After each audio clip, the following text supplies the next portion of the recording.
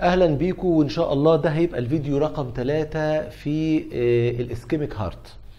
إحنا ابتدينا في ال ischemic heart بفيديو اتكلمنا فيه عن ال introduction وال pathophysiology وادينا لك background تاني فيديو اتكلمنا بالتفصيل عن ال nitrate.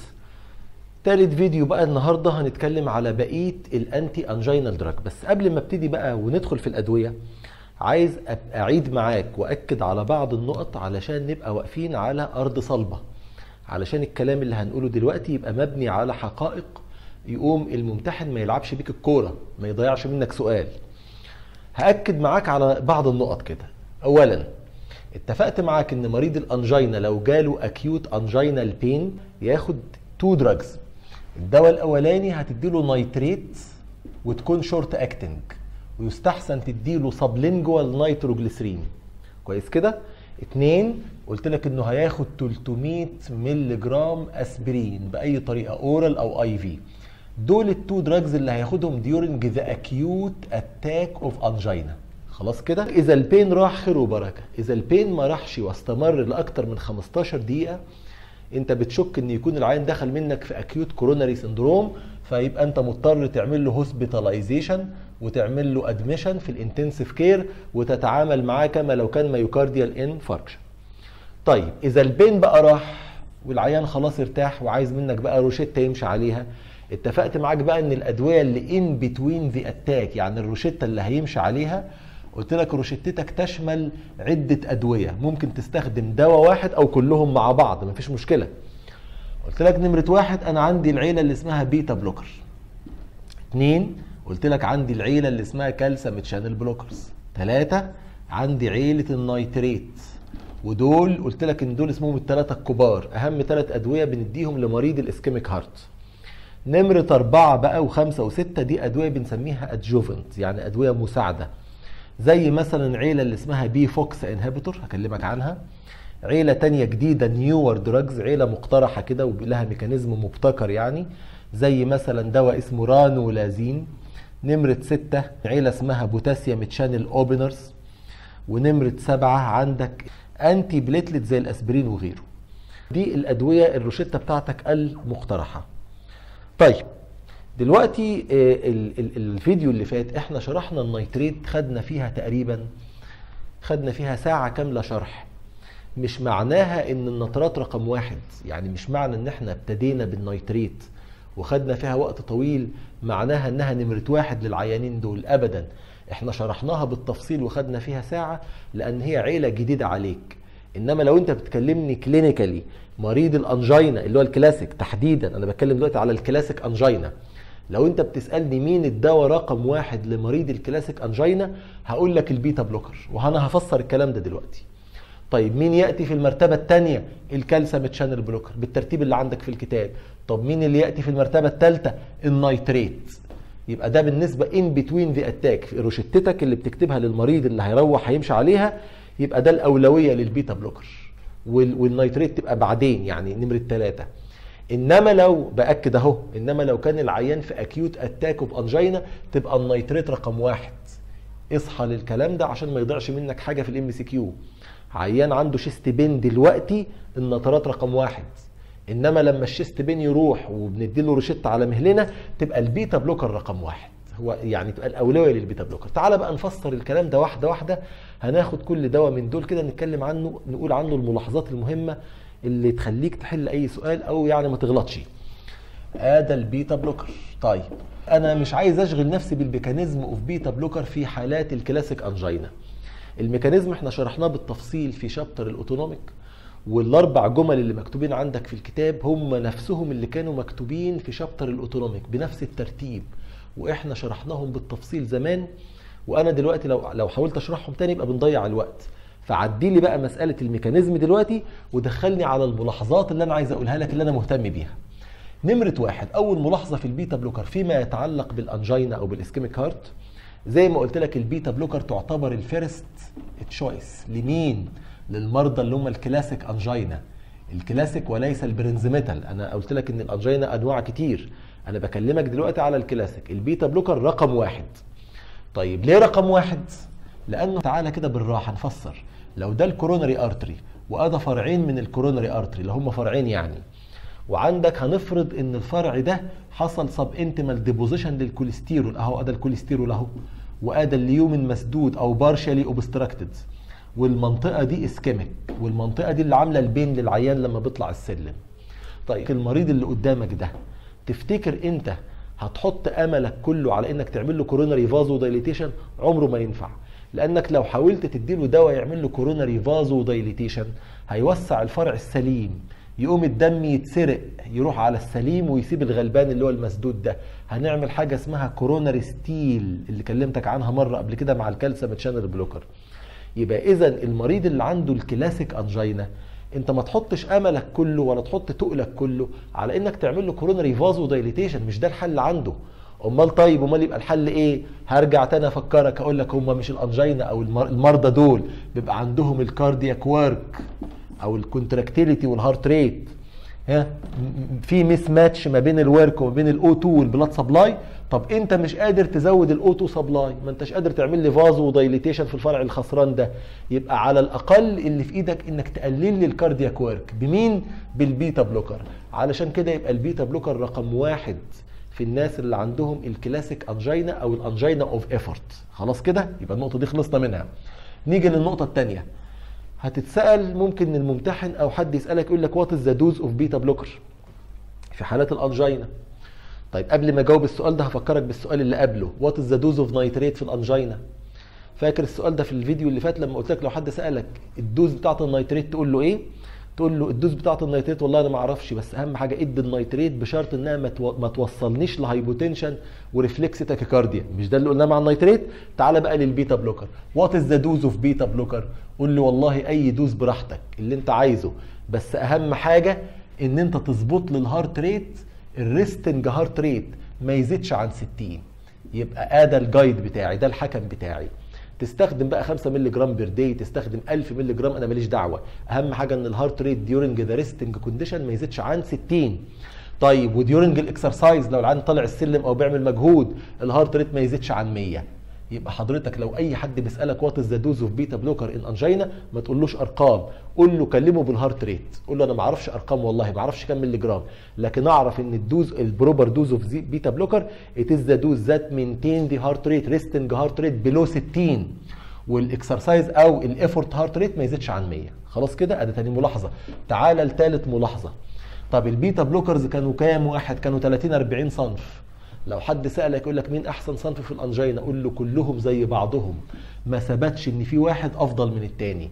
يبقى ما عندناش دراسة بتقول مثلا إن البيسوبرولول أفضل من ال metoprolol. ما فيش دراسات اتقالت بكده. إنما كل اللي إحنا عايزين نوصيك بيه إن كان في عيلة من ال beta blocker أو sector من ال beta blocker كان لهم intrinsic sympathomimetic activity فاكر؟ افتكر كده في ال autonomic لما قلت لك إن كان في دواء اسمه pindolol.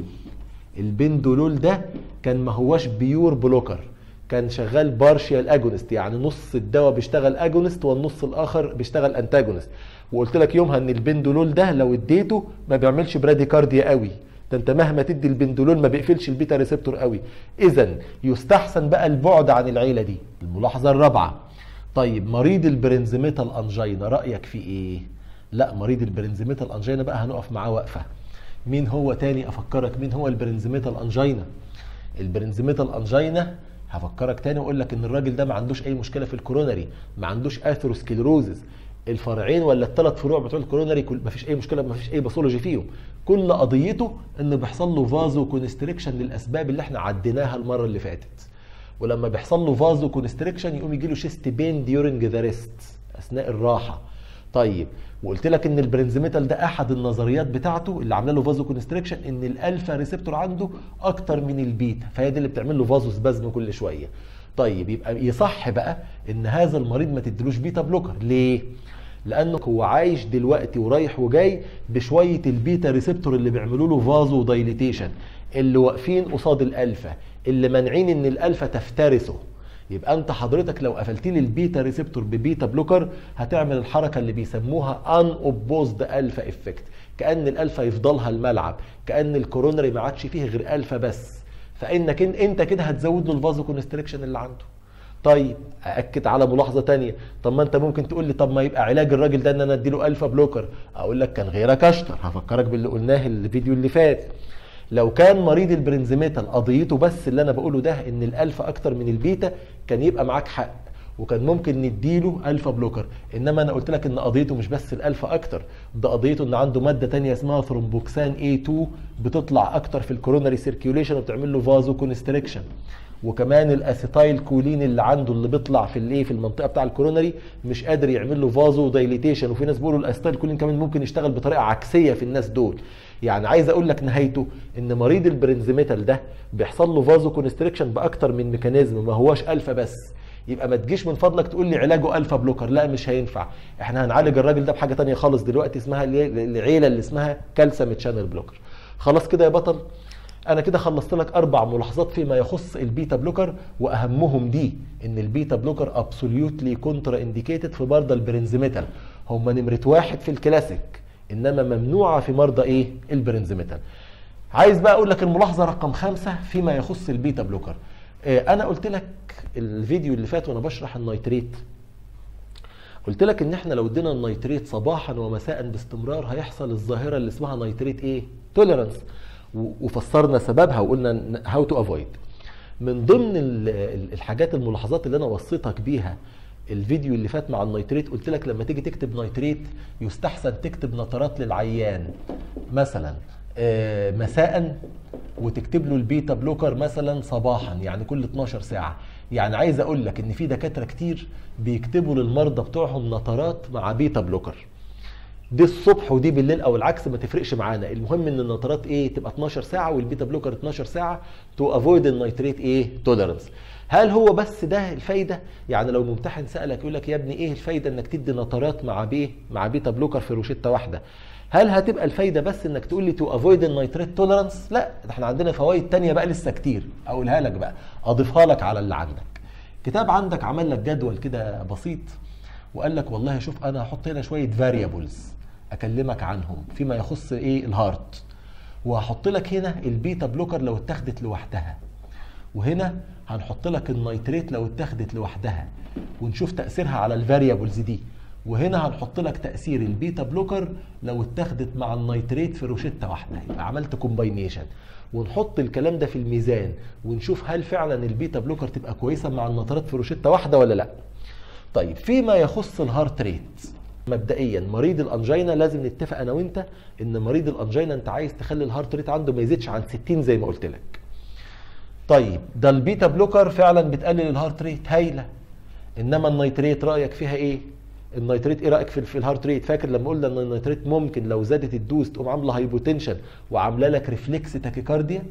يبقى اذا ال nitrate لو عملت tachycardia ال beta blocker هتلحقها هيحصل توازن بين الاثنين يبقى لو أنت اديت دول في روشتة واحدة ال heart rate مش هيتأثر. لأن دي بتزود ودي بتقلل. أو لو ال heart rate هيتأثر يعني هيبقى ماشي مع ال beta blocker. يعني إما إن ال combination بتاع النترات مع ال beta blocker إما إن الاثنين يوزنوا بعض على ال heart rate وإما إن لو ال heart rate اتأثر مش هيبقى مع ال nitrate هيمشي تبع ال beta blocker. يبقى كده كويس أهو. خد خط.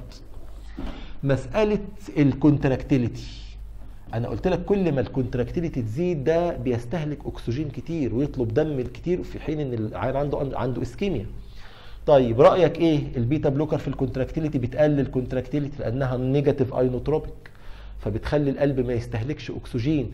الحركة اللي إحنا بنقول عليها إنها بتقلل myocardial O2 demand طب ورأيك إيه في النترات هي ال nitrate لما توطي الضغط وتخلي القلب يسرع.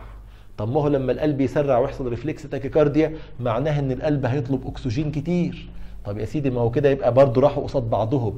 يبقى دي في الحين إنها بتقلل الكونتراكتيليتي والنيتريت ممكن تزود الكونتراكتيليتي والهارت ريت بريفلكس ميكانيزم فكده يبقى ال combination دول يروحوا قصاد بعضهم.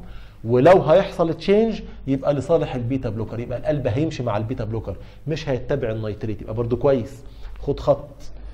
مسألة ال diastolic time مرة فسرت لك وقلت لك إن ال coronary art أكتر من مرة. قلت لك إن ال coronary artery لما بيملى بيملى أثناء ال diastole ما بيملاش ده ده الوحيد اللي ما بيملاش في ال systole لأن during the systole ال myocardium contracted فجميع ال vessel اللي في ال myocardium يعني يعني constricted أو مضغوط عليها ما تعرفش تملى ابدا.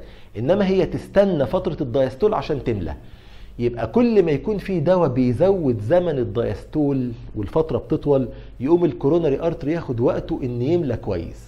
طيب ده ال beta blocker كانت بتعمل bradycardia يعني بتزود زمن ال diastole وده كويس كويس إنك تزود زمن ال diastole اللي إحنا بنطلق عليه diastolic filling time أو coronary filling time حلو قوي دي. إنما النترات لما هتسرع القلب وتعمل لك reflex tachycardia هتخلي زمن ال diastole قليل لأن القلب مش هياخد وقته عشان يملى. اذا برضو دول يروحوا قصاد بعضهم. يبقى كأن ال beta blocker عايز أقول لك من الآخر كأن ال beta blocker بتوزن أو بتصلح المشاكل اللي ممكن تنتج عن ال nitrate. يبقى في النهاية برضو الاثنين دول يروحوا قصاد بعض ولو ال heart هيمشي تبع واحد يبقى هيمشي تبع ال beta blocker مش هيمشي تبع ال nitrate. ده لو يعني لو لو لو لو ما حصلش no no change آخر حاجة بقى اللي ليك حق فيها ليك حق تراجعني فيها يعني مسألة ال blood pressure لو إحنا بنتكلم على ضغط الدم للأسف بقى ال beta blocker هتوطي الضغط وال nitrate هي كمان هتوطي الضغط يبقى دول مش هيروحوا قصاد بعض ده بالعكس هيحصل augmentation ممكن ال beta blocker والنترات مع بعضهم يتاخدوا ب dose خاطئة توطي الضغط الاثنين تلاقي العيان يحصل له في الآخر الضغط دمه يوطى ويهبط منك. هرجع أقول لك ما تقلقش من دي. عارف ما تقلقش من دي ليه؟ لأن حضرتك هتظبط لي ال dose بتاعة ال beta blocker وهتظبط ال dose بتاعة ال nitrate بحيث إن الاثنين ما يوصلوش لإنهم يوطوا الضغط. ما هو إيه علامة إن أنت وقعت في الخطأ؟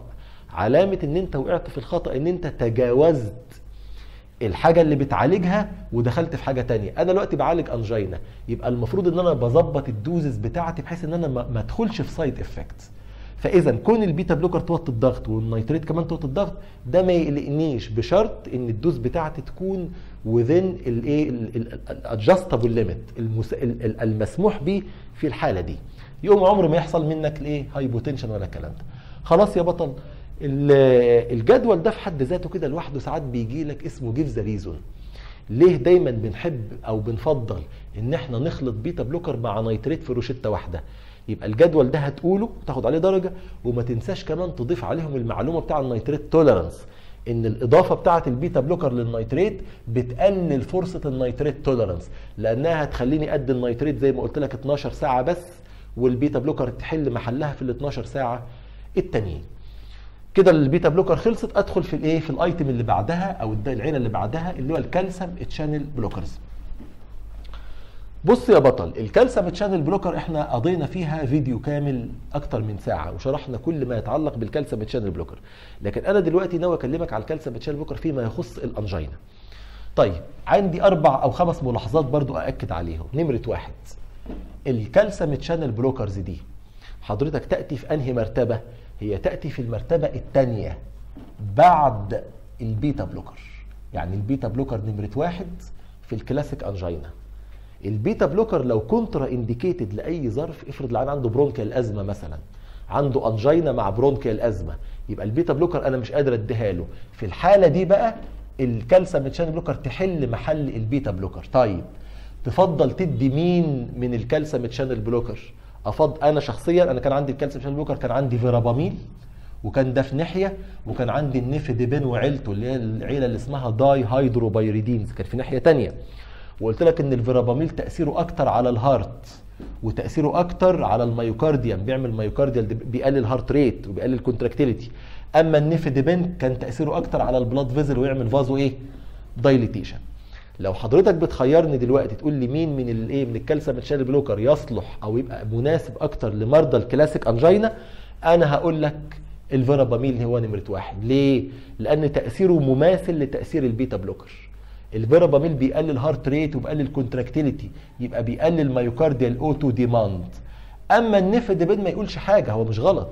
لكن ال nifedipine أنا نبهتك أكتر من مرة إنه ممكن يعمل لك كلمة reflex tachycardia ولو عمل reflex tachycardia يبقى هيزود ال heart rate وهيزود ال O2 demand ويبقى ده ما ينفعنيش يعني يفضل البعد عنه.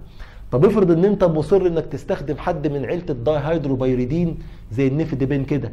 ماشي استخدم أي حد من عيلته بس يكون long acting يكون له long duration زي مثلا واحد من عيلة ال nifedipine أخوه أخوه الثاني اللي اسمه amlodipine ال amlodipine ده ينتمي بصلة قرابة لل nifedipine الاثنين من العيلة اللي اسمها dihydropyridine والاثنين بيعملوا coronary vasodilatation بس ال nifedipine ممكن يعمل لك reflex tach أما ال amlodipine لأنه long له long duration ما بيعملش reflex tachycardia يبقى حضرتك لو تاني عشان ألخص أهو لو ممتحن بيسألك بيقول لك ال calcium channel blocker في ال angina تفضل مين؟ يبقى أنا أفضل verapamil. نمرة واحد. طيب لو أنت عايز تستخدم حد من عيلة dihydropyridine بلاش بقى nifedipine اللي بيعمل reflex tachycardia. وخليك في الإيه؟ في ابن عمه اللي له long duration اللي ما بيعملش reflex tachycardia خلصنا من دي؟ أنا كده بكلمك على ال classic angina. تمام؟ طيب فيما يخص بقى ال Prinzmetal angina ال Prinzmetal angina أنا قلت لك إن العيان ده بيبقى عنده vasoconstriction نتيجة مجموعة حاجات. لو وقلت لك من شوية لسه منبهك من شوية إنك من فضلك قلت لك ما تجيش تقول لي هدي له alpha blocker لأن سبب ال vasoconstriction مش بس الألفا ده عنده حاجات كتير بتعمل vasoconstriction. متفقين أهو؟ المريض بتاع ال Prinzmetal بقى نمرة واحد ال first choice عنده ال calcium channel blocker. يبقى إذا قلت إن ال calcium channel blocker تأتي في المرتبة الثانية بعد ال beta blocker في مرضى ال classic angina إذا صلح كلامك بقى, بقى نمرة اتنين قول وهي نمرة واحد في مرضى ال Prinzmetal angina يبقى يا بطل لو جالك MCQ وأول ما الممتحن يقول لك Prinzmetal angina أو ساعات لها اسم تاني alpha mediated syndrome أو variant angina لها أسماء كتير أو vasospastic angina وطالب منك الدواء رقم واحد لعلاجها قول له calcium channel blocker وهعيد لك للمرة رقم 20 لو أقول لك طب ليه ما تديش alpha blocker رغم إنها اسمها alpha mediated syndrome؟ قول له لأن سبب ال vasoconstriction في المرضى دول مش بس ال alpha receptor عندهم mediators تانية هي اللي عاملة لهم ال coronary vasoconstriction يبقى كوني أدي لهم alpha blocker useless مش هيضيع المشكلة. اللي هيحل مشكلتهم واحد من عيلة ال calcium channel blockers اتفقنا؟ طيب ندخل على العيلة اللي بعدها أو الكلام اللي بعده. عند حضرتك بقى. مجموعة أدوية بيسموها تحت تندرج تحت عنوان newer drugs أدوية جديدة. كل يوم يطلعوا لنا دواء واثنين وثلاثة وأربعة في الكتب ويقول لك إيه ده دواء هايل لمرضى ال angina. لكن إحنا ما بناخدش بالكلام ما بناخدش بكلام شركات أو بكلام يعني كده. إحنا أهم حاجة عندنا إن إحنا لما يطلع دواء جديد بنعمل حاجة اسمها clinical trial يعني مش إحنا يعني ك... ك هنا في, الفر... في في في مصر يعني والدول دي لأ. أنا أقصد يعني العلماء على مستوى العالم اللي هم في أمريكا وأوروبا وشركات الأدوية الكبيرة تقوم تجيب مثلا 5000 أو 10000 عيان عندهم angina وتجرب الدواء بتاعها ده وتطلع نتائج. اللي أنا بحكي لك ده اسمه clinical trial فكل يوم يطلع بقى أدوية جديدة تقول لك الأدوية دي effective لكن مش على أساس علمي. فإحنا هنعرض لك الآراء اللي موجودة وهنعرض لك الكلام اللي موجود لكن هيظل الأدوية اللي هشرحها لك دي كلها محتاجة مننا إن إحنا نعمل clinical trials محترمة يعني نجيب 10000 عيان نجرب عليهم علشان نحكم ونحلف ما إذا كان الدواء ده فعلا effective ولا لأ. هتظل جميع الأدوية اللي هشرحها لك دي هتظل تحت عنوان كلمة other drugs أو تقول لي adjuvant drugs أو تقول لي أدوية مساعدة. لكن يظل الثلاثه الكبار أنت عرفتهم ال beta blocker وال calcium channel blocker وال nitrate طيب مين هم بقى الأدوية الجديدة دي؟ في عيلة مثلا اسمها pFOX inhibitor pFOX تتكتب كده. p small وكلمة FOX بال capital. هي أصلا الترجمة أو يعني جاية منين الاختصار؟ p يعني prevent حاجة بتمنع. ال FOX يعني fatty acid oxidation يعني العيلة دي من اسمها كده prevent fatty acid oxidation أنا هشرح لك حاجة كده كلمتين في الفسيولوجي. علشان أقول لك هم وجهة نظر العلماء إيه يعني في العيلة الجديدة اللي اسمها pFOX inhibitor اولا هو أشهر دواء في العيلة اللي اسمها pFOX inhibitor أشهر دواء فيهم اسمه trimetazidine كويس كده؟ احفظ الاسم ده كويس عشان بيجي في ال MCQ كتير قوي الدواء ده. إيه بقى يعني وجهة نظرهم إيه في ال angina؟ تعالى كده بقول لك والله دي ادى ال myocardial cell. هنفرض إن دي أحد ال cardiac myocytes. في ال normal condition عندي وعندك. الحمد لله إحنا ما عندناش انجينا ما عندناش ischemic heart disease ال heart غير أي tissue ال heart معتمد في 60% من ال metabolism بتاعه يعني 60% من ال energy بتاعته بياخدها من ال oxidation of free fatty acid مش من الجلوكوز. يعني جايز ال brain يبقى ال main fuel بتاعه الجلوكوز بيستهلك جلوكوز كتير. جايز ال kidney وال liver يستهلكوا جلوكوز كتير إنما ال heart وال myocardium لا. هو عايش على ال oxidation of free fatty acid لأنها بتديله ATP أكتر. طيب 60% تقريبا يعني. ال free fatty acid بتدخل إيه؟ المفروض أنا بكلمك في ال normal ال free fatty acid بتدخل تتأكسد جوه الميتوكوندريا بحاجة أنت عارفها في ال biochemistry اسمها beta oxidation of fatty acid كويس. لما ال fatty acid تدخل الميتوكوندريا وتتأكسد تقوم تطلع لنا ATP كتير يقوم ال myocardium عايش على القصة دي. بياخد 35% بس من الطاقة بتاعته من الكربوهيدرات. و5% من الطاقة بتاعته من ال energy من إيه اكسد حاجات أخرى زي ال ketone bodies وغيره. طيب أنا بكلمك كده في ال normal condition. هو واخد 60% من ال oxidation of free fatty acid افرض بقى تعالى نفرض إن العيان عنده angina pectoris وعنده الأكسجين والدم مش واصل كويس لل myocardium. وبالتالي يبقى لو دخل عنده ال free fatty acid دي مش هتعرف تتحرق. ده أنا بكلمك على المريض اللي عنده angina اللي الدم مش واصل كويس. ليه مش هتعرف تتحرق؟ لأن عشان تحرق ال fatty acid أنت محتاج أكسجين كتير جدا محتاج كمية كبيرة قوي. محتاج بنزينة أكسجين عشان تحرق شوية free 20 كربونة يعني لو fatty acid 20 كربونة أنت محتاج له كمية أكسجين كتيرة جدا في الميتوكوندري. طب المريض اللي عنده angina ما عندوش هذا الكم من الاكسجين هتكون النتيجة إيه؟ ان ال free fatty acid هتدخل السيتوبلازم لكن كان نوت بي اوكسيدايزد مش هتتحرق. تقوم تتجمع ال free fatty acid في السيتوبلازم. ولما تتجمع ال fatty acid هي اسمها acid. لما تتجمع ال fatty acid في السيتوبلازم لأنها مش قادرة تتحرق عند المرضى دول تقوم توطي البي اتش يقوم يحصل حاجة زي ال acidosis كده. طيب وده هيعمل إيه؟ ده هيعمل مشكلة كبيرة جدا. أنت عندك في هنا حاجة اسمها في الخلايا اسمها sarcoplasmic reticulum مخزنة كالسيوم كويس كده يا بطل؟ الكالسيوم الكالسيوم طول ما هو متخزن في ال sarcoplasmic reticulum لا قيمة له أهو متخزن. كافي خيره وشره إنما أول ما ال free fatty acid تتجمع في السيتوبلازم والبي اتش يقل وتدخل في acidosis يقوم الكالسيوم يدوب. ولما يدوب يخرج من ال sarcoplasmic reticulum يتحول لل ionic state وأول ما الكالسيوم يخرج من ال cytoplasmic reticulum عينك ما تشوف إلا النور. محرقه بقى لأن الكالسيوم هيزود ال contractility هتبتدي الخلايا بتاعة ال myocardium اللي هي ال cardiac myocyte تبتدي ال contractility تزيد بلا داعي. ليه؟ لأن أنت دوبت الكالسيوم من ال sarcoplasmic reticulum بتأثير ال free fatty acid دي. كويس؟ لما ال contractility هتزيد والعيان ما عندوش أكسجين ولا عنده good blood flow يقوم يدخل منك في myocardial إيه؟ infarction المنطقة دي تموت من القلب ويدخل في myocardial أنا دلوقتي شرحت لك ليه مرضى ال angina ساعات يدخل منك في myocardial infarction بالطريقة اللي أنا قلتها لك دي. من هنا بقى جه دور العيلة اللي اسمها pFOX inhibitor قالوا العلماء إحنا هنخترع عيلة تمنع دخول ال fatty acid. ما تدخلش من أصله. تقوم لما ال fatty acid ما تدخلش جوه ال cardiac myocyte يقوم القصة اللي أنا حكيتها لك دي كلها ما تحصلش. يقوم يبقى ال fatty acid ما تتراكمش يقوم البي اتش ما يقلش يقوم الكالسيوم ما يدوبش وما تزيدش ال contractility بلا داعي. أمال يا سيدي أمال إحنا هنعيش على إيه بقى لما أنت هتمنع دخول ال fatty acid؟ قالوا هنمنع دخول ال fatty acid ونسمح بدخول الكربوهيدرات only يبقى إحنا الحركة دي هنسميها metabolic switch metabolic switch يعني خلينا ال heart بدل ما هو عايش على ال free fatty acid هنقول له لا من فضلك ال free fatty acid هتعمل لنا مشكلة في الحالة دي. احرق بدلها جلوكوز. أيوه يا سيدي هتقول لي الجلوكوز ما بيدينيش الإيه؟ ال energy الكافيه هقول لك وماله.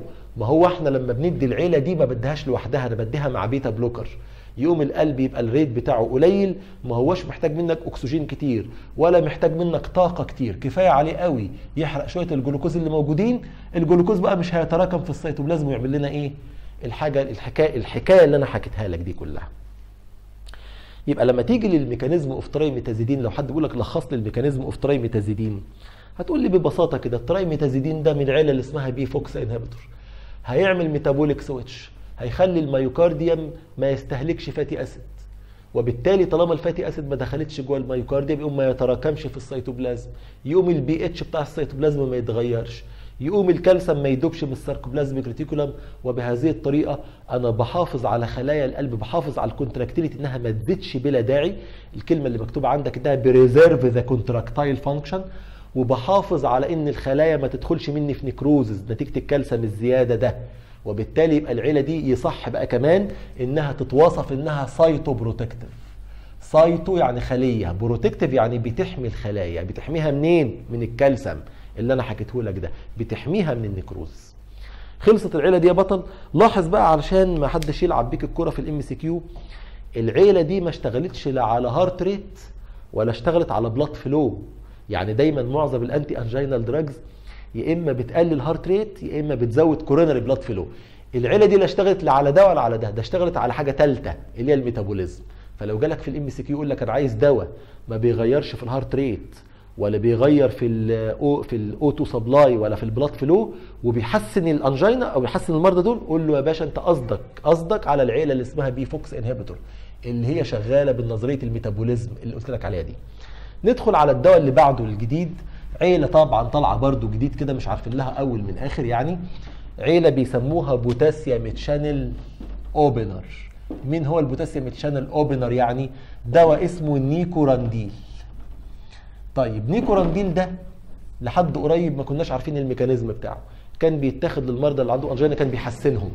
إنما تيجي تسألني على ال mechanism أقول لك والله هو مفترض يعني mechanism كده إيه مقترح. إنما ما مسكناش ال mechanism بإيدينا قوي عشان نحلف عليه.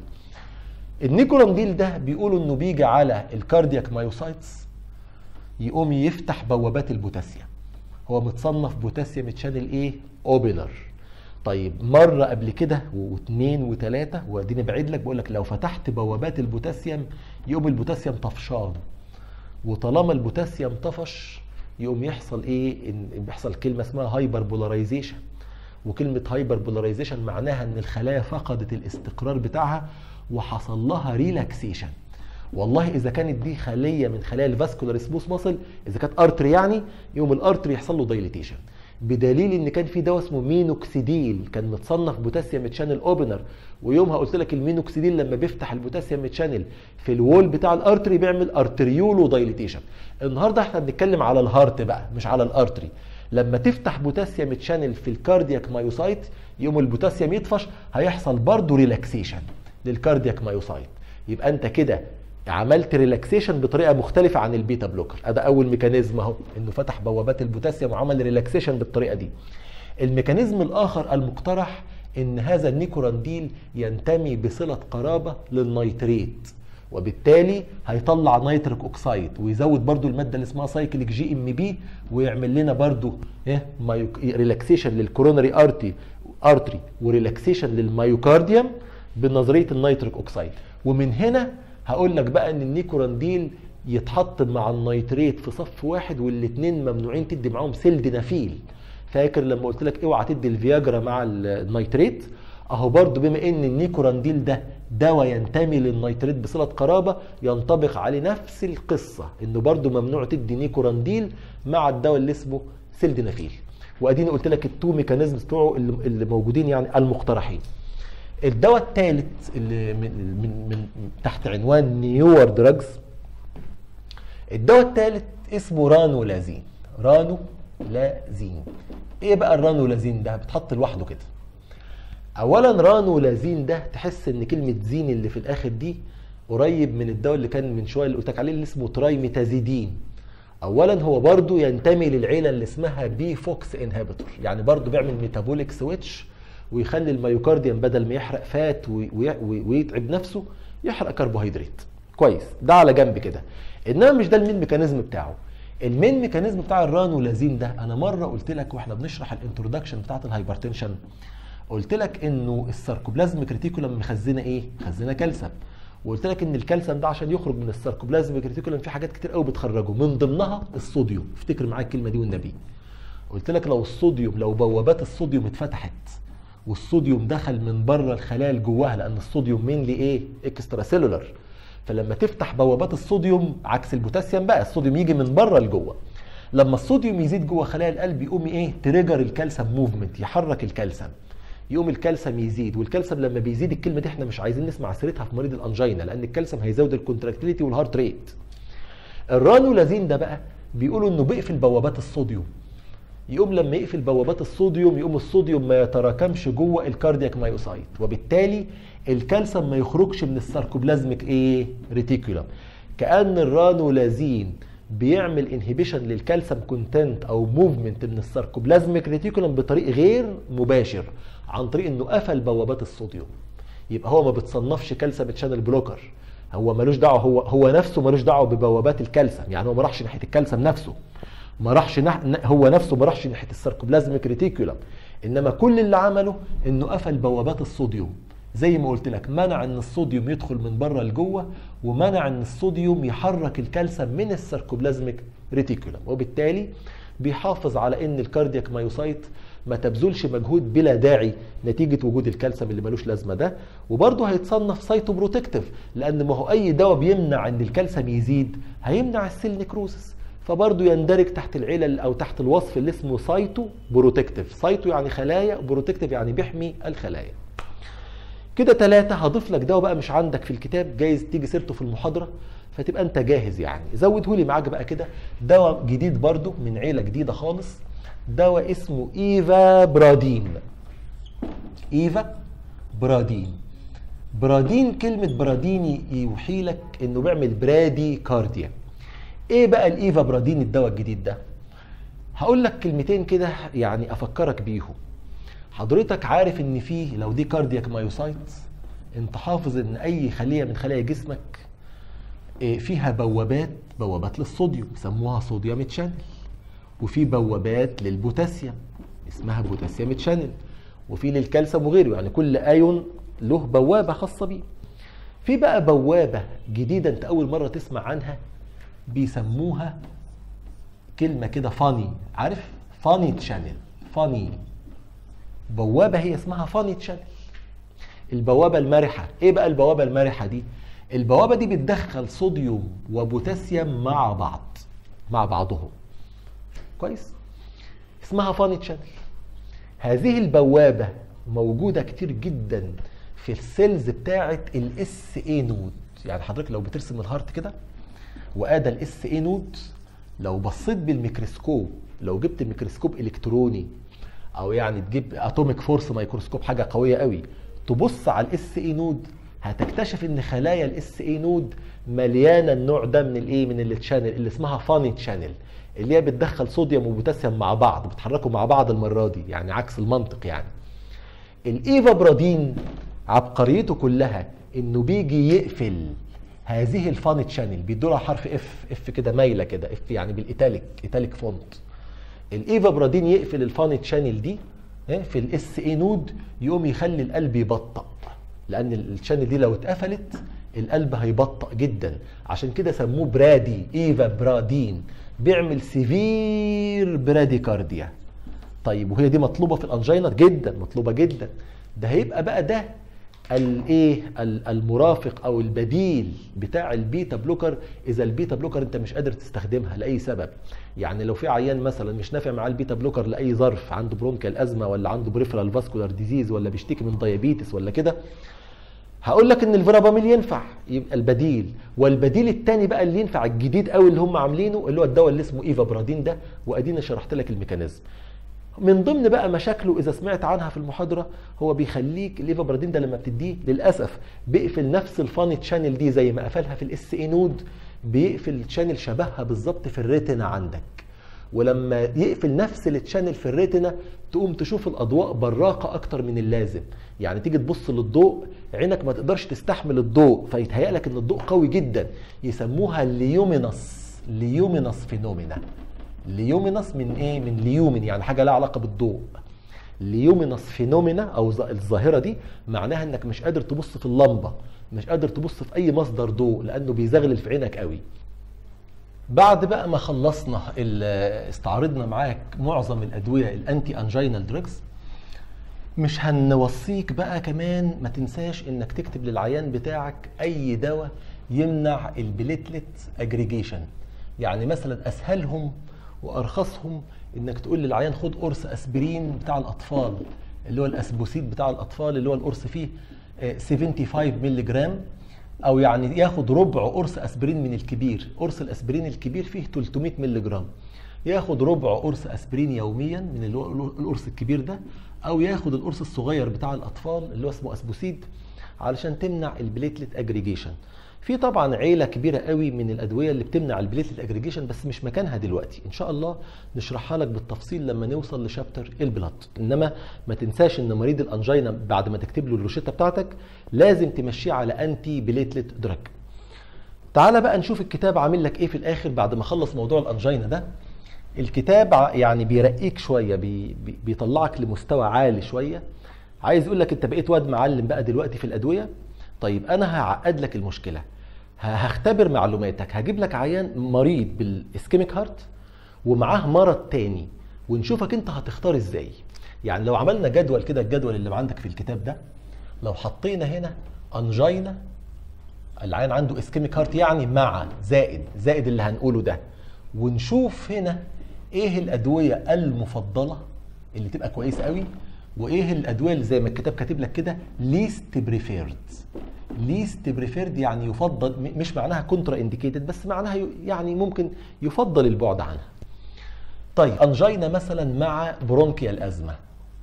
هو كده بيزنقك. ليه؟ لأن angina مع bronchial أزمة. تعال الأول نتكلم على الأدوية اللي ممنوعة. اللي ممنوع في ال bronchial أزمة ممنوع ال beta blocker. يبقى ال beta blocker دي مبدئيا كده أنت هتعمل لك bronchoconstriction. طيب وإيه اللي مسموح بيه؟ اللي مسموح بيه في الحالة دي اولا عشان نخلص خلينا نقول إن ال nitrate مسموح بيها في جميع الحالات. يعني ارتاح ال nitrate عمرها ما تبقى ممنوعة ابدا في أي حالة angina سواء كانت كلاسيك أو Prinzmetal أو غيره. جايز ما تبقاش نمرة واحد أنا قلت لك أكتر من مرة جايز هي تيجي في المرتبة الثانية أو الثالثه إنما هي مش ممنوعة. فخلونا نخلص من ال nitrate. إنما غير ال nitrate إيه بقى؟ عارف مريض ال bronchial أزمة أحسن حاجة تكتبها له؟ حاجة من عيلة ال calcium channel blocker ليه؟ خصوصا ال verapamil مثلا. ليه؟ لأن ال verapamil ده اولا هو هيهدي ال heart rate وهيقلل myocardial work و O2 demand وفي نفس الوقت عيلة ال calcium channel blocker كانت بتعمل ريلاكسيشن للسموث ماسل يبقى أفضل حاجة لمريض ال bronchial asthma إنك تكتب له calcium channel blocker طيب عيان مثلا angina pectoris مع heart failure أو congestive heart failure بيزنقك برضو ليه بيزنقك؟ عشان تقول له طيب ال beta blocker في الحالة دي غير مفضلة لأن ال beta blocker بتقلل ال contractility وهتضر المريض اللي عنده heart failure لأن لها negative inotropic برضه الدواء اللي اسمه verapamil. ال verapamil ده من ضمن ال calcium channel blocker اللي كان بيعمل myocardial depression هيضر المريض اللي عنده congestive heart failure يبقى يفضل البعد عن دول. أمال إيه بقى اللي يفضل إن أنا أديه؟ طبعا نترات أنا متفقت معاك إن ال nitrate مع أي حالة ممكن. إنما المريض ده بقى لو أنت عايز تستخدم له calcium channel blocker أنا قلت لك ال verapamil ما ينفعش. طب ورأيك إيه في ال nifedipine ما هو ال nifedipine برضو أنا أنا ليا ملاحظات عليه. ليه؟ كان short acting وبيعمل reflex tachycardia بلاش بقى الله يكرمك nifedipine ونستبدله بالدواء اللي أنا لسه قايل لك عليه من شوية ابن عمه اللي اسمه amlodipine يبقى لو أنت عايز لمريض ال heart failure عايز له nitrate تنفع عايز حد من عيلة ال calcium channel blocker يبقى خليك في ال amlodipine اللي هو كان من عيلة ال dihydropyridine بيعمل coronary dilatation و vasodilatation وبقلل preload و afterload من غير ما يعمل كلمة reflex tachycardia خد نمرة ثلاثة مريض عنده مثلا angina مع hypertension طيب angina مع hypertension لو أنت بتسألني أنا شخصيا أقول لك إن أي دواء مع عند... أنا شخصيا ما عنديش محاذير. يعني المريض ده ينفع له نترات وينفع له calcium channel blocker بأنواعها وينفع له كمان ال beta blocker ما تقولش لأ. إنما هو الكتاب هتلاقيه كاتب هنا ال nitrate وأنت جايز تستغرب. هو كاتب ال nitrate في الخانة اللي اسمها least preferred هو الحقيقة إنه هو مش قاصد يقول لك ال nitrate ممنوع. يعني مش عايز يقول لك إن مريض ال hypertension ما تدلوش نترات. لا. أنا بأكد عليك أهو مريض ال hypertension ممكن ياخد nitrate عادي جدا ما تضروش بس هو قاصد الكتاب قاصد لما حط لك nitrate هنا قاصد يقول لك إن ال nitrate هتبقى least preferred يعني مش هتفيدني قوي هي ال nitrate هتفيدني فيما يخص ال angina إنما مش هتفيدني في ال hypertension ليه؟ أنا عايز دلوقتي دواء يضرب عصفورين بحجر، يعني أنت لو قلت لي مثلا إن المريض اللي عنده angina مع hypertension هياخد beta blocker هقول لك معلم معلم ليه؟ ال beta blocker هتفيد ال angina وتفي- وتفيد وتفيد ال hypertension. طيب ياخد calcium channel blocker هقول لك معلم لأن ال calcium channel blocker هتضرب عصفورين بحجر هتعالج angina و hypertension in the same time إنما لما تيجي تقول لي nitrate هقول لك هي مش ممنوعة هي ماشي الحال بس ال nitrate هتعالج angina بس إنما مش هتعالج ال hypertension فهو الكتاب عشان كده حطها لك في الخانة اللي اسمها least preferred يعني دول أفضل منها يعني. آخر حاجة بقى angina مع diabetes mellitus مريض السكر. مريض السكر أنا قلت لك أكتر من مرة إن ال beta blocker hazardous بالنسبة له. وإحنا شرحنا الكلام ده أكتر من مرة في ال autonomic nervous system وشرحنا ليه بالتفصيل ليه ال beta blocker خطر على مرضى السكر. تاني حاجة ال verapamil مش مستحب قوي يعني لأن ال verapamil أنا مرة وأنا بشرح ال calcium channel blocker كنت نبهتك إن ال verapamil بيقفل ال calcium channel في البنكرياس وبيقلل ال insulin release. يبقى هيبقى مش مفضل قوي لمرضى ال diabetes. امال مين اللي مفضل؟ استخدم يا أخي nitrate. المريض السكر ده ما, في ما يقولش حاجة لو استخدمت nitrate. أو تستخدم calcium channel blocker بس ما يكونش verapamil يعني ابعد عن ال verapamil ممكن مثلا تستخدم له زي ما قلنا برضو ال amlodipine ده ما يقولش لأ. ال amlodipine بلاش nifedipine برضو عشان short acting وكلمة reflex tachycardia يبقى هذا المريض ينفع له نترات وينفع له amlodipine. وابعد عن ال beta blocker وابعد عن ال verapamil للأسباب اللي إحنا قلناها. آخر حاجة بقى عايزين نكلمك كلمتين صغيرين لو العيان اتصل بيك في التليفون اللي انت بتعالجه ده واتصل بيك في التليفون وقال لك يا دكتور أنا عندي chest pain مستمر ما بيروحش. فأنت هتقول له خدت ناترات نيتروجليسرين تحت اللسان يقول لك أنا خدت ثلاث اقراص وال pain مستمر. طيب معنى إن ال pain يبقى مستمر معناه إيه؟ معناه انه انه إنه دخل مني أو ممكن يكون العيان دخل مني في كلمة acute coronary syndrome وأنا خايف لا يكون ال coronary artery اتقفل تماما ولو اتقفل تماما المنطقة اللي supplied دي أنا قلت لك في في الفيديو الأولاني بتاع ال angina قلت لك إن لو في فرع من ال coronary اتقفل التاني ما يحلش محله مفيش anastomosis مفيش good anastomosis تقدر يعني يعني يعني يعني مفيش مفيش كده.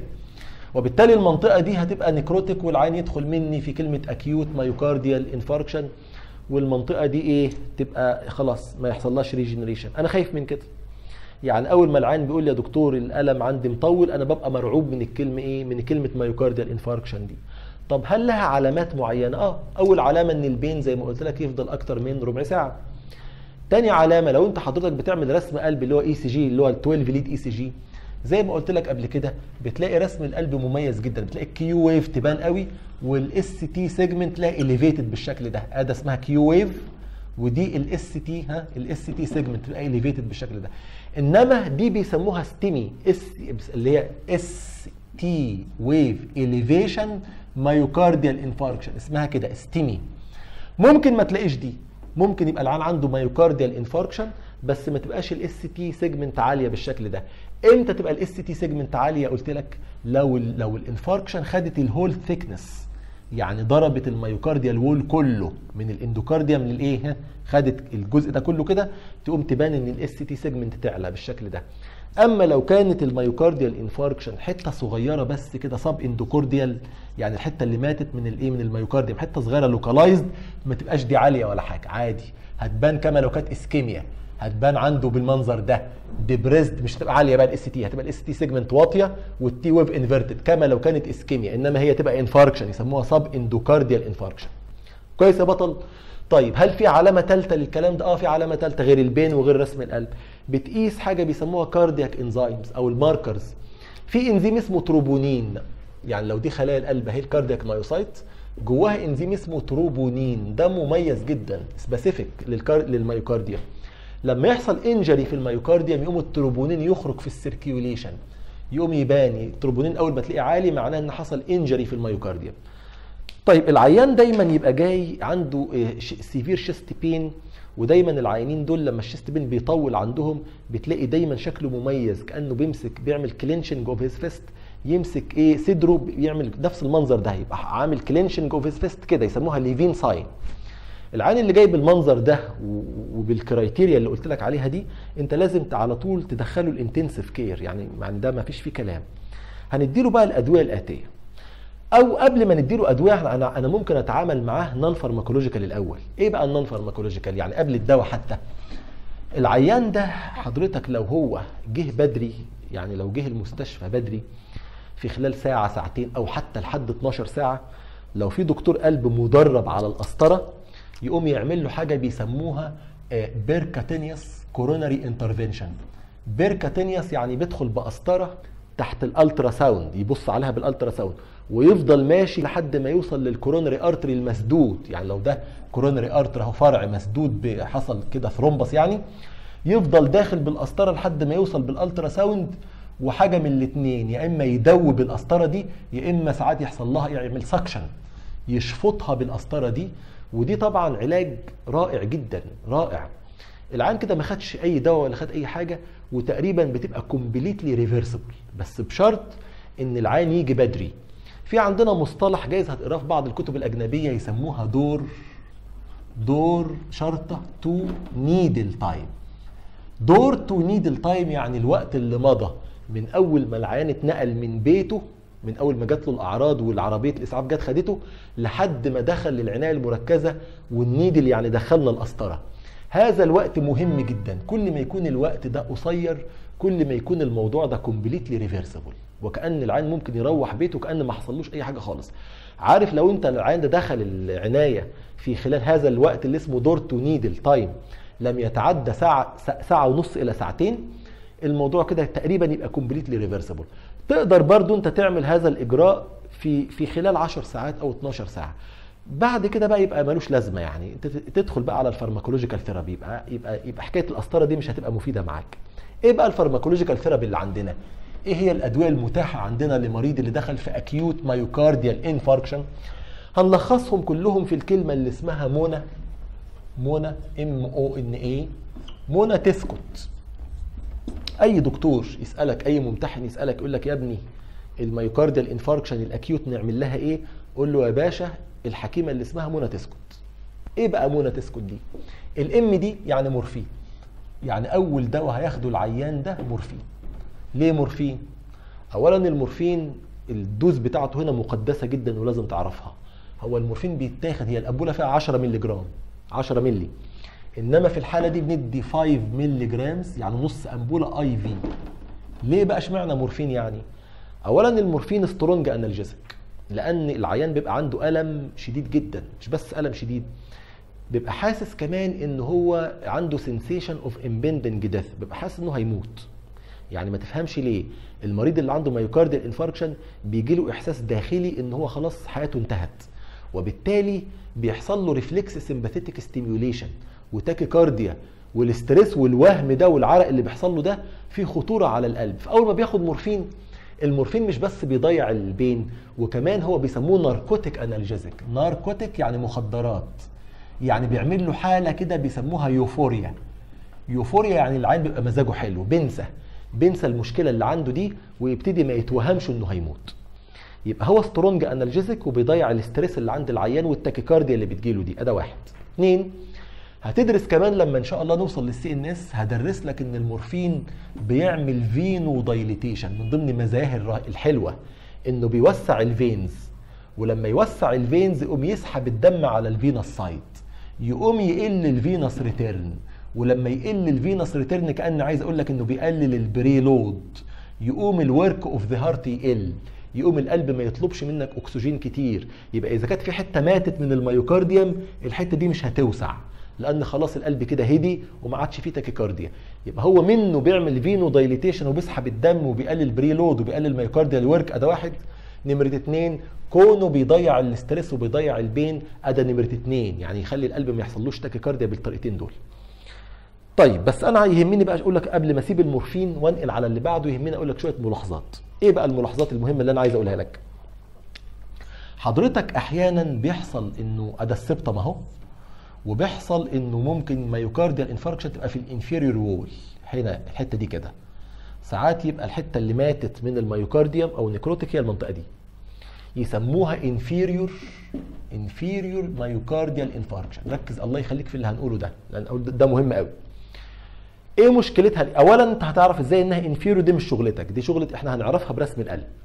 يعني إحنا هنعرف ال inferior من ال posterior من ال anterior من ال 12 lead اللي قلت لك عليهم. هبص كده أنا هعرف ال infarction جت فين بالظبط. فدي مش قصتك. انما كون ان يحصل ان المنطقة اللي هي ال apex دي تموت ده على طول بياخد معاها ال septum. يعني ده أنا قلت لك يا ريت تكون فاكرني يا ريت تكون فاكر ان أنا في بداية الكلام خالص في ال angina قلت لك ان في ال coronary artery ادي right coronary وادي left coronary أرسمه بالقلم الأسود أهو. ادي left coronary بيبقى ماشي على اللي هو اسمه left anterior descending branch بيبقى ماشي على ال septum كده بالطريقة دي. أهو ال left anterior descending branch لما بيتقفل بيضيع ال apex وياخد معاه ال septum كمان. طيب حلو. يعني ال inferior MI دايما معاها ال septum بيتاخد في الرجلين. طب وده يضرني في إيه؟ لا يضرني قوي. لأن أنت ناسي إن في هنا bundle اللي بتوصل الكهرباء اللي اسمها ال left bundle وال right bundle دول ماشيين على ال septum معناه إيه؟ معناه إن ال septum لما يتضرب ويحصل له ischemia ال bundle دي هتتضرب والتوصيل الكهرباء ما عادش يوصل من ال atrium لل ventricle معناه إيه؟ معناه إن العيان ده يدخل مني في brady ها؟ bradycardia هو ده السر. ليه المرضى اللي عندهم inferior MI بيبقى دايما عندهم bradycardia؟ علشان ال septum بيتضرب وال septum عليه ال bundle وخلاص كل سنة وأنت طيب يبقى مفيش توصيل كهرباء العيان بيدخل في bradycardia. طيب إيه قصة إيه الدخل اللي أنا بقوله بالمورفين؟ لا لا له دخل له دخل مهم جدا لأن المورفين هتدرس معانا إن شاء الله في ال CNS إن المورفين بيعمل لك vagal stimulation و vagal يعني هو بيعمل لك bradycardia أصلا. يعني المورفين بيعمل bradycardia المر... ال bradycardia اللي بيعملها المورفين نتيجة ال vagal stimulation هي مش وحشة. مش وحشة لو كان العيان عنده myocardial infarction في أي منطقة إلا إذا كانت inferior ليه بقى؟ لأن ال bradycardia اللي هيعملها مع ال bradycardia اللي موجودة بسبب الشرح اللي أنا قلته لك ده العيان ممكن يدخل منك في cardiac arrest يبقى المورفين يستخدم في جميع حالات ال myocardial infarction إلا إذا كانت الحالة inferior MI واديني شرحت لك ليه. طيب أمال هتقول لي البديل إيه؟ ما أنا لازم أستخدم دواء يكون analgesic قوي جدا من عيلة المخدرات.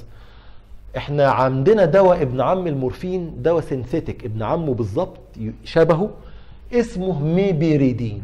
meperidine. هتاخده إن شاء الله بالتفصيل في ال CNS.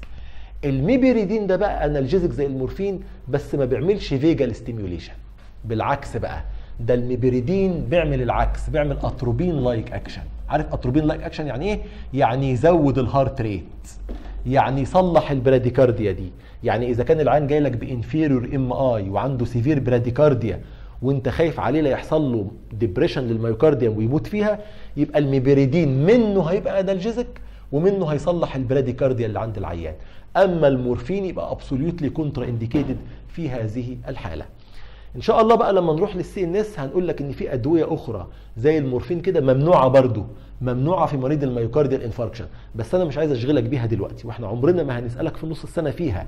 إن شاء الله لما نوصل لل CNS أبقى أشرحها لك بالتفصيل. إنما دلوقتي أديني قلت لك المورفين ودوره وقلت لك إنه ممنوع في ال inferior MI والبديل بتاعه وشرحت لك كل حاجة. ندخل بقى على تاني حرف من كلمة منى إحنا خلاص كده؟ تاني حرف الأكسجين. مريض ال myocardial infarction حضرتك أنا من في الفيديو اللي فات قلت لك ما تندفعش قوي على موضوع الأكسجين وما تقعدش تدور وتعمل مشاكل لأن اولا الأكسجين ما ثبتش إن بيفرق مع حياة العيانين يعني. على عكس ما أنت متخيل طبعا أنت متخيل إن المريض ده لازم ياخد أكسجين عشان هو عنده necrosis والأكسجين هيح... ماشي كويس. اللي أنت بتقوله صح لكن لما عملنا دراسات وجبنا مئة ألف عيان عندهم myocardial infarction خدوا أكسجين وزيهم ما خدوش اكسجين ما فرقتش. يبقى الأكسجين ما بيفرقش معانا في ال mortality. يبقى كون العيان ياخد أكسجين أو لا ما بتفرقش. إلا إلا لو كان العيان عنده severe hypoxia طب إيه علامة ال hypoxia زي ما قلت لك في الفيديو اللي فات. الأكسجين saturation عندنا يتراوح نسبته من 95% في ال arterial side إلى 100% يعني لازم الأكسجين ده ده ال normal level الأكسجين إذا نزل ل 90% ال saturation بتاعه في ال arterial side يبقى ده معناه إن العيان ده عنده hypoxia ومحتاج أكسجين. هو ده بقى العيان اللي ياخد أكسجين فعلا. اللي هو اللي هو الأكسجين saturation عنده اسمها كده SaO2 الرمز بتاعها كده saturation of the O2 إذا نزل تحت 90% يبقى لازم أكسجين. طب انت هتعرف كلمة 90 و95 إزاي يعني؟ ما هو العيان لا بسيطة قوي. إحنا عندنا الجهاز اللي قلت لك عليه المرة اللي فاتت اللي اسمه oximeter ال oximeter ده أو اسمه pulse oximeter من صباع العيان. جهاز صغير جدا يتحط على صباع العيان كده يقول لك يطلع لك رقم نسبة الاكسجين saturation. يبقى أنت ما تديش اكسجين من فضلك إلا إذا كان العيان عنده hypoxia وأديني قلت لك الأرقام. طيب اللي بعده ال N ال منى ال N دي يعني نيتروجليسرين نترات يعني نترات تحت اللسان. يعني العيان يستخدم نيتروجليسرين تحت اللسان. ليه يا سيدي؟ هي النترات هتفرق يعني؟ آه هتفرق. لأن ال nitrate هتلحق اللي حصل. يعني هو الحتة خلاص بقت necrotic اهو. ال nitrate هتعمل limitation of the infarct size تخلي المنطقة دي ما توسعش. يعني اللي آه أنا خلاص اللي حصل حصل. إنما على الأقل ألحق بقى إنها مش كل يوم تزيد نتيجة ال ischemia. أو لو ما عندكش nitrate ممكن تستخدم beta blocker البديل بتاعها عشان إيه تهدي القلب يقوم ال contractility ما تزيدش. ما هو أنت أهم حاجة لمريض ال myocardial infarction إنك تحافظ على ال heart rate إنه ما يزيدش منك وفي نفس الوقت ما يقعش منك برضو يعني إحنا عايزين نحافظ على ال heart rate مثلا يكون في حدود ال 60 فإذا لقينا ال heart rate زيادة يبقى ال nitrate أو ال beta blocker هت إيه؟ ال beta blocker هتهدي ال heart وتخلي الإيه؟ تعمل limitation لل infarct size طيب يا باشا ال A دي anticoagulant anticoagulant يعني حاجة مضادة للجلطات. ما هو أكيد اللي دخل العيان في myocardial infarction إن عنده فرع من ال coronary اتسد ب sudden thrombus حصل clotting فإحنا بنلحق نديله هيبرين إن شاء الله هندرس لك الهيبرين بالتفصيل في ال chapter بتاع ال blood وأقول لك إن الامبول بتاع الهيبرين فيه 5000 unit. أنا بدي الهيبرين في الحالة دي IV هو دايما الهيبرين بيتاخد subcutaneous إنما في الحالة دي لأنها طوارئ فأنا بدي الهيبرين في الوريد. بدي امبول أو اتنين. الامبول في 5000 unit والامبولين يبقوا 10000 unit. حضرتك وهندرس لك بإذن الله في chapter ال blood إن في بدائل دلوقتي للهيبرين أفضل منه. في حاجة أفضل من الهيبرين العادي ده اسمها low molecular weight heparin هنبقى نقول لك عليها أفضل شوية من الهيبرين وفي أدوية أخرى. الهيبرين أو ال low molecular weight heparin اللي إحنا بنديه ده في ال emergency بنديه خصوصا لو كان العيان obese اما يكون عين عنده مايكارد انفاركشن واوبيز أو سموكر يبقى هو ده ده أكتر واحد محتاج منك dose عالية من الهيبرين طيب اللي بعده. كلمة T كلمة منى تسكت. ال T دي بقى. ال T دي اختصار لكلمة thrombolytic drug thrombolytic من اسمها كده. thrombo يعني جلطة lytic يعني يدوب دواء مثلا رخيص شوية اسمه streptokinase ده رخيص قوي. الدواء اللي أحسن منه شوية اسمه urokinase حقن أفضل تدوب الجلطة بسرعة.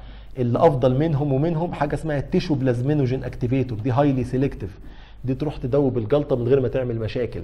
بس إحنا هنشرح لك بقى العيلة دي من الأدوية بالتفصيل.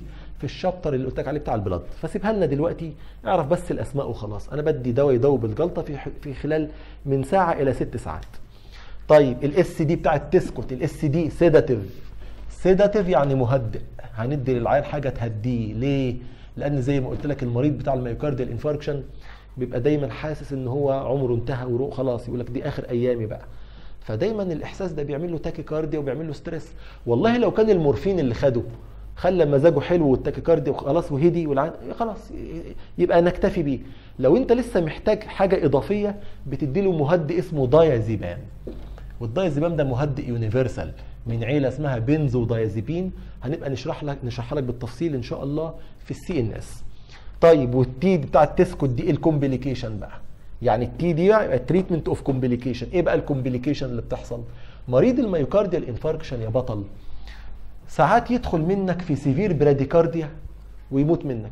يدخل منك في myocardial depression نتيجة إن ممكن تكون المنطقة دي extensive اللي ماتت دي حتة كبيرة من ال myocardium العيان ما يستحملش. تيجي تحط إيدك على ال pulse ما تلاقيش pulse. تيجي تقيس blood pressure ما فيش blood pressure صفر وصفار كلها العيان منتهي. ده بقى بيبقى دخل منك في حاجة اسمها cardiogenic إيه؟ shock كلمة cardiogenic shock يعني الحتة اللي ماتت دي بقت خلاص العيان منتهي. مفيش مفيش efficient contraction وال cardiac output تقريبا مفيش مفيش دم طالع من ال heart عندها هينتهي منك.